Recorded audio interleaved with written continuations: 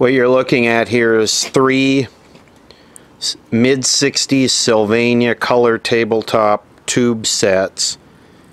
And I believe these are CB 26W or CE 26 something like that.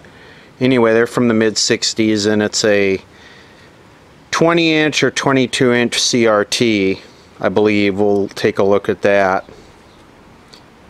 and there's a fairly well-known uh, scene in movies which is the Oval Office when LBJ was president where he had a cabinet with three three sets side by side so he could watch all three networks at the same time. And those appear to me to be CTC RCA CTC 17s in in the original photo which I'll dump in the video here which would have been RCA's first rectangular set on the market. And sorry I'm scanning back and forth here. I still don't have a camera with a viewfinder on it so I'm just kind of hoping that I, I show the whole picture anyway I was contacted by a movie production and they are doing a uh, they're doing a scene where they need the three sets to to film basically recreate that Oval Office scene and finding any three sets from the 60s vintage these days that are, that are identical would be practically impossible. So I had these and these fit the bill except they're just not the RCA CTC 17. So I pulled them out, clean them up a little bit. I think I'm going to pull the chassis. They don't need them to work. They really don't need TVs to work anymore in films and video because they burn it in later digitally, which gives them a lot more options than that. And they don't have to deal with the frame rate and the scanning and the flicker and all that other stuff and getting these things to work right. So, um, yeah, here they are, three 1960s Sylvania tube color tabletops. And boy, tabletops are rare these days. Finding one of these for sale, it's just a tube color tabletop. It's just, uh, these things are gone. They are really, really rare these days. They're much more rare than a 50s uh, highboy style or any of that stuff. So, I think I'm going to pull the chassis out. Uh, let's get going. So let's do a quick overview of each one. I still don't have a camera with a viewfinder on it, so I can't actually tell what I'm filming. So this this is the first one. It's in good shape. Knob is there. All the all the knobs are there. Same thing with this one. This one's got some scuffing on the top.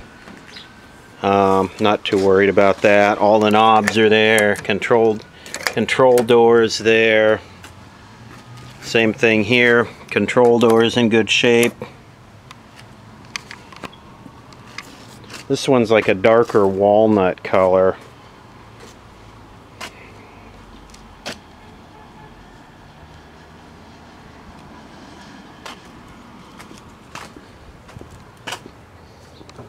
Antennas are good on all three. they're in good shape. These things are in real good shape. They're all there.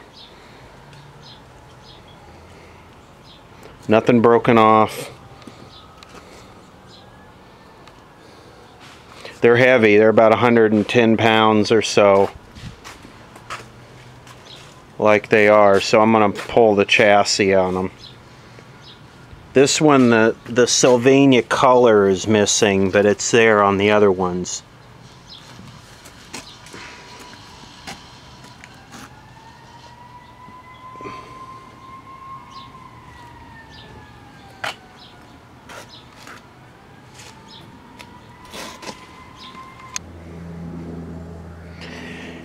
Alright, let's see what it takes to pull the chassis out. Hopefully I can get just the chassis out and not affect the knobs on the front. I hope the tuner unplugs because uh, they're going to need it to look authentic. Probably take these screws out of the bottom here so it doesn't scratch whatever they set it on like it's doing to me. CE26W. Okay, here's a look inside the first one. And another problem with the camera right now is I have it set in ultra high resolution mode and I have it in manual focus so it's fixed about a meter out so I can't get too close. I would dare to say that this set is new old stock when I are very very low hour. See how clean everything is? It's got the original Sylvania horizontal output tube. I would venture to say this thing is almost new stock.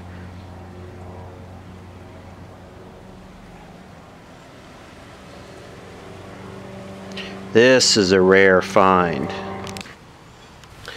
And here's the chassis all original Sylvania tubes.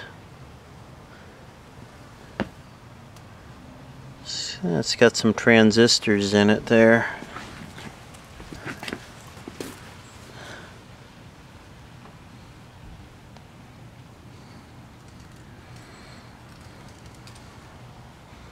Power transformer set.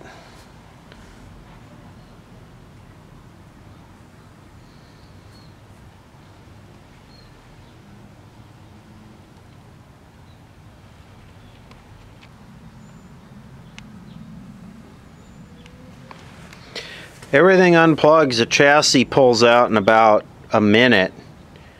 Two screws, it slides out, everything unplugs, the tuner, the IF, everything. Very nicely made. I want to verify my suspicions here if this thing is new old stock, so we'll put it at around 4 to 5 volts filament and see what we get.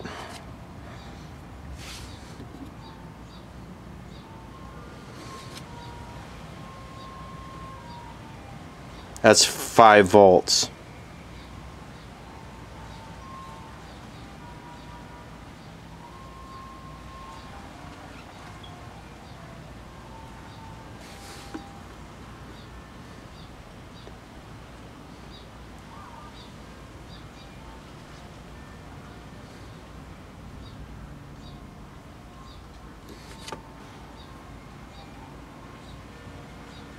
Yeah, I would say it's a very, very low hour to new. That's four and a half volts filament. Okay, here's number two. And I would dare say number two almost checks out as new old stocky as number one. Um, original horizontal output tube, clean, not a lot of dirt on the high voltage.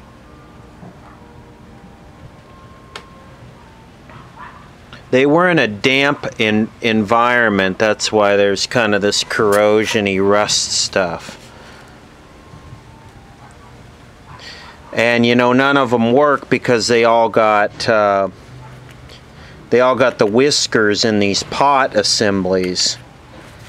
So the vertical and AGC doesn't work on any of them does this one have the yeah this one has the same thing where the the uh, speaker lead is knotted around the degaussing wire. Okay, here's a look at number two. And I know number three is used because we used it in the house when the Mitsubishi took a dump.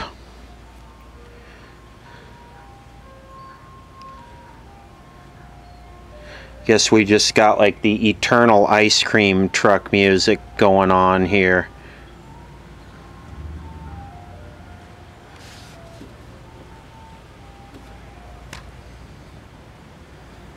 Four and a half volts.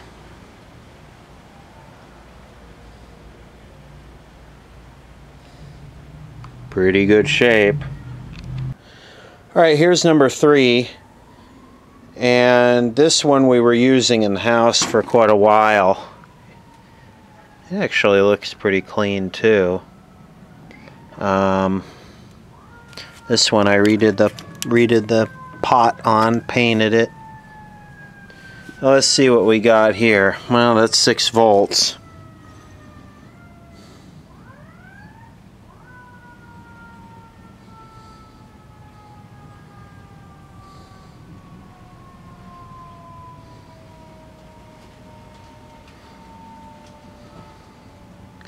So you, so you got your choice over here, a background music, background soundtrack, you got your choice. You either got Sirens or the Ice Cream Truck.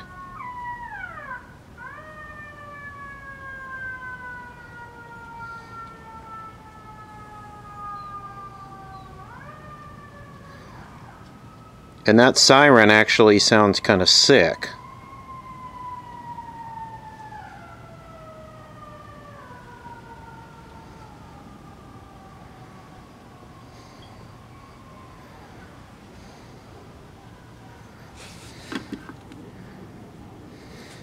Five volts.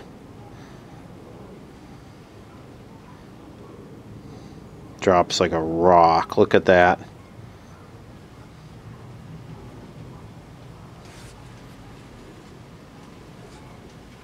Six volts. Oh, now we got barking dogs from the sirens. So you have three picks. Ice cream truck, barking dogs, or sirens. And they all kind of tie together at some point. Alright, well here they are. The three sets and the th three chassis. Those two over there are like new old stock. This one's got some miles on it, but it was working pretty good. I'm thinking what I might do if I could find some help is I have some consolettes in a wood cabinet or the, that are the same exact set. It's just in a wood, not a metal cabinet. And they had some hours on them. What I might do is I might try and if I can get some help, pull those out and exchange the CRTs with these CRTs that are in, in here, these new ones. Because I would hate these things to get dropped or bumped or something and bend the shadow mask in them and destroy two new CRTs. That's, uh, there we go with the sirens again. Now what we need is an airplane to fly over.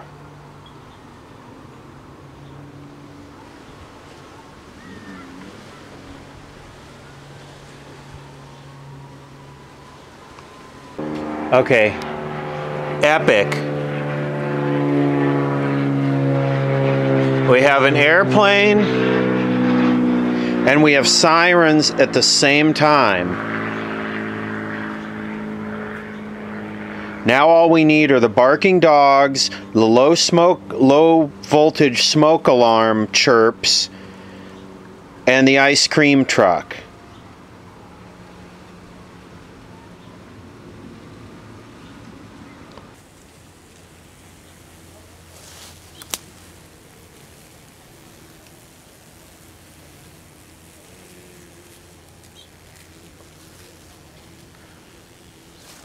These are fig beetles. And from a distance you could swear that something 60 hertz was arcing. And they are currently eating my fruit.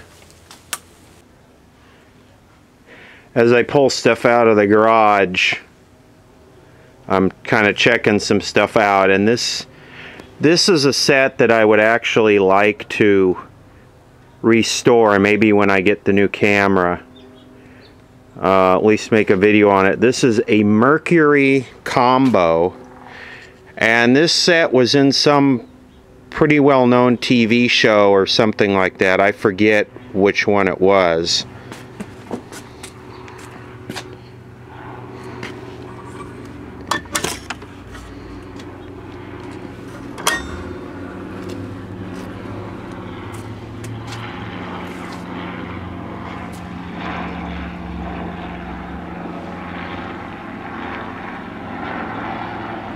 Just have to brake and let this noisy ass crap go by. So I see a lot of these popping up all the time, you know, and nobody ever wants them. No one wants to restore them, and I don't even know if I've seen a video restoring one of these uh, black and white combos. Usually they get turned into wet bars with extra added bonus fish tank. So it's got an AM radio I if I remember right, the picture bulb tested good. Tested real good, like it had been changed.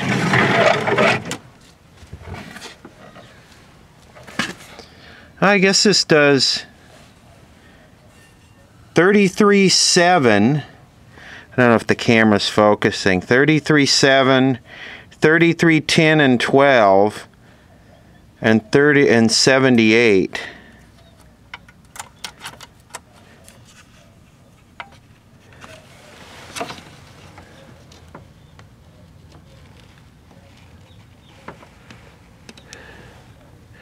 Is that a needle or is that a fish fish hook on the end of that? Anyway.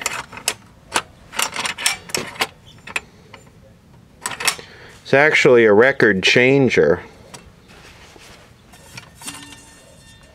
Look at that, the, the felt is still in really good shape.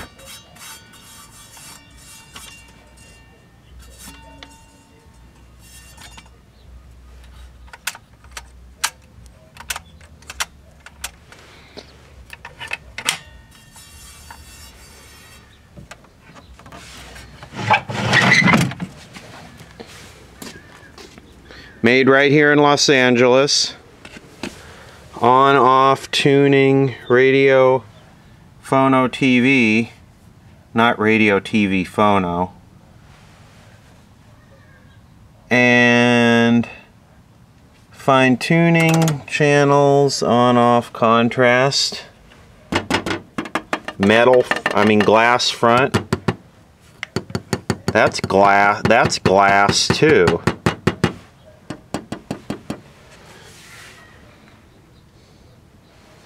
So anyway, I'm I'm still working on digging that um, Sylvania out that has the dead CRT so I could switch it with one of the rental sets.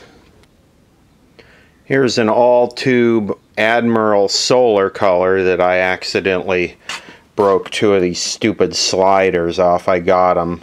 It's another video to take that apart and fix that. Look at this nice deposit right here. Nice termite deposit. And what I don't understand is this has all been re-roofed. And that's that oriented shit board. And I thought they didn't eat that stuff. But I tell you, these things are just so out of control around here. Okay, so as you can see on the right is the tabletop uh, that uh, is going to be rented out, and on the left is a consolette. I guess what what makes it a consolette versus a console probably be that it's a I'm calling it a consolette because it's a 22 UP22 CRT. It's not a 25XP or CP or AP or EP or whatever. So it's a smaller CRT. And you can see it's exactly, they're exactly the same set. One's just got a metal cabinet on the outside of it. The other one's got a wood cabinet on the outside of it. Now the Consolette has got a zillion hours on it and a dead CRT so we could do a comparison you can see what a high hour versus a low to no hour set looks like. So the first thing we want to do is face down ass up. Okay now we got some noisy ass bird and sirens today. So let's have a look at this one. Well, we could see that the horizontal output tube is not original. I'm gonna yank the chassis anyway, but you could see the dirt there on the around the cap. And um,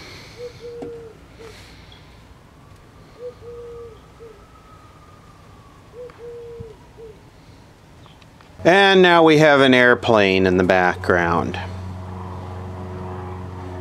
So I'm not going to waste everybody's time with how dead this thing is. You could see we're at about, uh, well, 8 volts. And we're just starting to see some move movement on blue.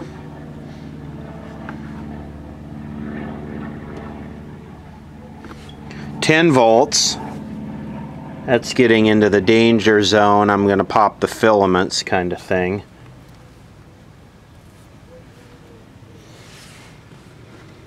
There's not much to lose here.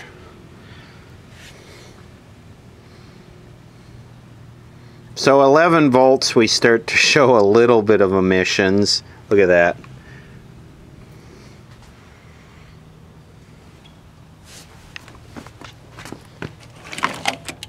They're almost white.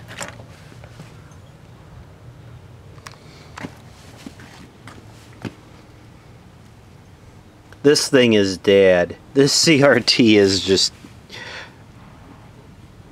I can't believe that people actually watched their TVs until they were in this condition. I wonder if you could see anything on this at all. We, when I put this back together we should fire it up and see if you could see anything on this. And it doesn't have a brightener on it. Hey, here's the Sylvania with the dead CRT. And all of these tubes look, they're all Sylvania originals too. So I wonder if Sylvania was just, well, except the horizontal output and the damper. So I wonder if Sylvania was a really good brand that didn't have many chassis or tube problems, but had, eh, you know, when they ran the life out of the CRT, or if Sylvania's had really crappy short life CRTs. It's always kind of interesting to wonder if maybe Sylvania had really poor quality CRTs that didn't last. Alright, there really is nothing to getting one of these things out. Eight screws and it just lifts out. What I'm going to do is I'm going to keep it together all as one piece and just drop it in there. That way I don't have to touch the yoke or the convergence thingy or anything. And um, that one will be the same. I'm just going to pull it out. It's one unit. And uh, switch it. Okay, same thing here, face down, ass up. Um, look at the difference now that I compare them side by side. Look at the difference from this one to this one.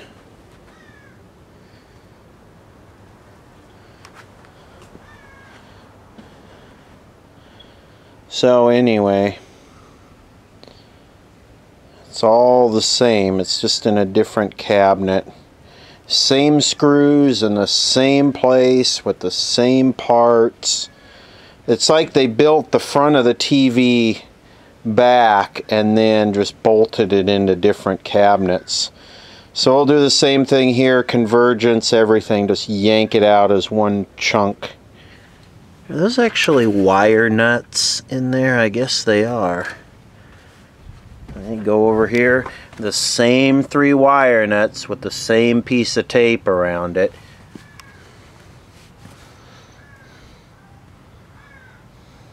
It's mass manufacturing for you. You just crank it out in chunks and then slap it together. Put it in different cabinets so the buyer thinks they're getting something special and unique. Well, I got the solid wood grain laminate console with the hard wood implements that touch the floor. Oh, I got the solid steel fireproof uh, unit, tabletop unit with the flammable cardboard inserts to keep the top from feeling hot and it melting my candles from the bottom up.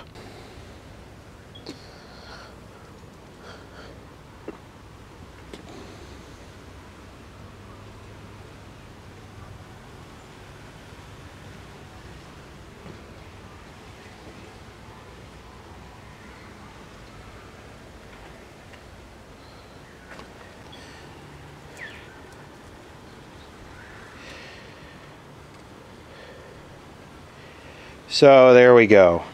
Dead CRT in metal cabinet for rental TV.